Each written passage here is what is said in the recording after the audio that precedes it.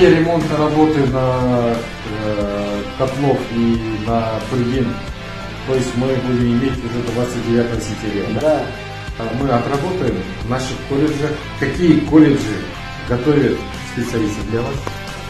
По этим специалистам сколько у нас есть э, студенты третьего курса, да? Потом с ними проводим беседу Мгм. с вашим участием. Можно здесь, можно в колледже. Мы их соберем и объясним.